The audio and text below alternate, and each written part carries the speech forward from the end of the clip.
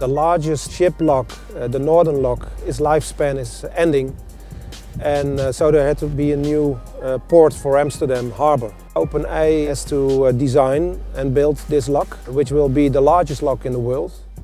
The project is very complex, uh, with limited uh, construction space and severe availability requirements from the client.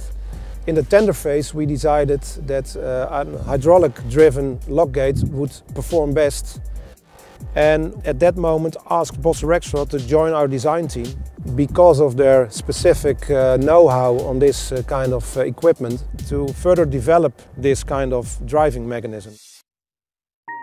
Bosch Rexroth supplied 12 hydraulic hydromotors from Hägglunds for driving the, the locking doors, 48 cylinders for the culvert gates, 16 hydraulic power units with a total installed power of 1.5 megawatt. We also supplied the interconnecting stainless steel piping and we commissioned all hydraulic systems.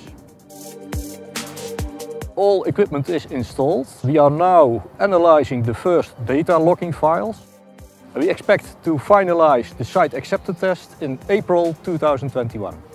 I see Bosch Rexroth as a reliable partner with state-of-the-art knowledge. Secondly, I see them as a reliable team player with an awareness of the interest of our clients uh, for having a lock uh, which will perform for the next 100 years.